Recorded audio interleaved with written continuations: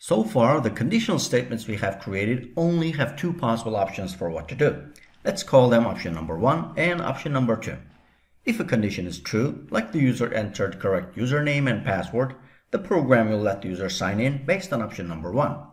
But if the condition is false, like the user has incorrect username or password, then the program will not let the user sign in based on option number two and display a reminder message like please provide valid username or password. But what if there are many different options, not just two?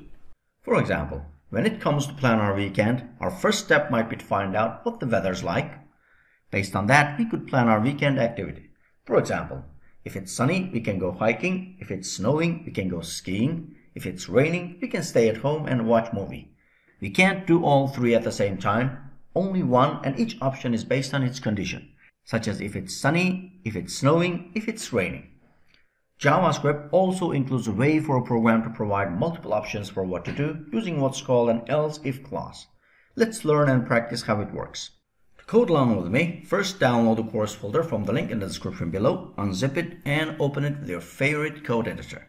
Here I'm using Visual Studio Code.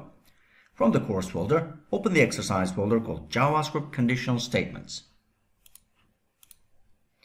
And then open the index.html file using Google Chrome. Here I'll also open the JavaScript console. In the index.html file, remember to link else-if.js file. So else-if works like this. We start with an if statement, then add an else-if clause, which provides another condition to test. So now we have two conditions. If the first one is true, then the code inside this block runs. Let's call this option number one. However, if the first condition is false, then we test the second condition. If the answer to that condition is true, then the code inside this block runs. Let's call this option number 2. And one thing to keep in mind is that the second condition is not tested if the first condition is true. We'll only get to the second condition if the first condition is false. Now, if neither of the conditions are true, we might want to provide a fallback, option number 3, so that the program does something. We can do this by adding an else clause to the end. Notice how there's no condition for this last part. However, the code block at the end only ever runs if all the conditions above are false. And there's no limit to the number of else-if clauses we can add. But remember that we must start with an if statement and end with an else clause. So now there are three conditions and four possible options for what to do. And keep in mind that as soon as one condition is true, the code for that condition runs and all the following conditions, including the very last else clause, are skipped. Now, let's see how we might use this conditional statement in a program. Earlier, I mentioned examples of activities we can do based on weather conditions. For example, if it's snowing, we could go skiing. Our first step might be able to find out what the weather is like. Based on that, we could plan our weekend. And in the first condition, I'll check if weather strictly equals sunny. If it's sunny, log the message, it's sunny, so I'm going for hiking.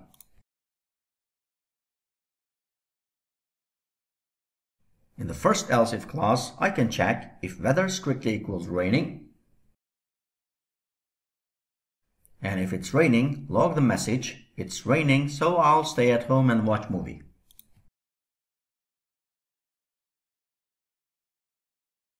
In the next else if clause, I can check if weather strictly equals snowing. And if so, then log the message it's snowing, so I'm going for skiing.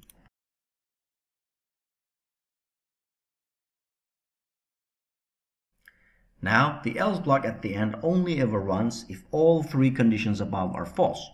In that case, log the message, I don't have any plan today. Before testing this code, I need to create the weather variable and assign it either sunny, raining, or snowing. I'll try raining first.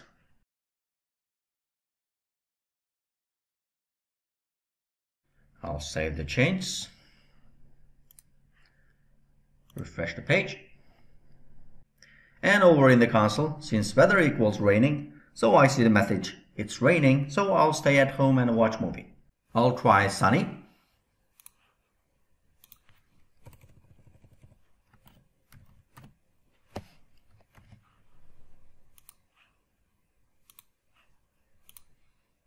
Then snowing.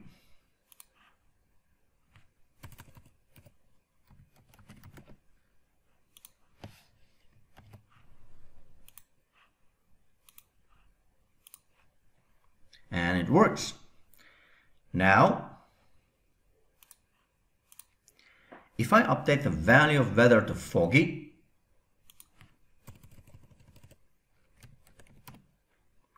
or anything other than sunny, raining, or snowing, for example,